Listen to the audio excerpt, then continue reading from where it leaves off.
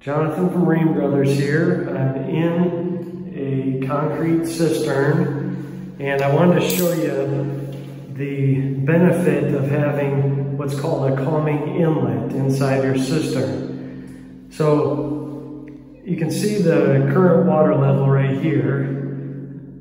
The water looks pretty clear and you can see the bottom of the floor has some sediment built up in it. This is what we want to see. We want the sediment to settle to the bottom of the cistern. But if you don't have a calming inlet in your cistern, and let's say the water comes into the tank from up here, and it just pours right into the tank every time it rains, what's going to happen is that that water is going to get stirred up because it's just dumping into the top. And you can see that quickly what was clear water becomes pretty dirty and pretty, pretty black. So having a calming inlet in the cistern really helps to keep that sediment on the bottom of the tank, like it is here.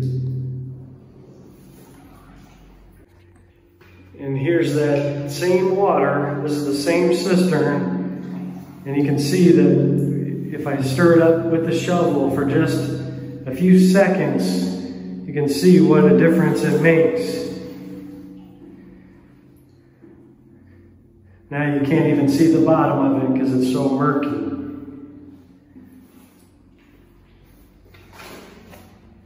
So here we are in the um, in the other cistern tank, this was a two tank system. And here's a great example of a calming inlet. So up here is where the water comes into the cistern and you can see it bend 90 degrees down, going all the way to the floor with a little bit of a gap with some concrete blocks stacked up around it. These blocks act as a force breaker to break up that turbidity as the water comes into the cistern so it doesn't stir everything up and maintains the sediment zones. So this is a great example of a calming inlet for the cistern.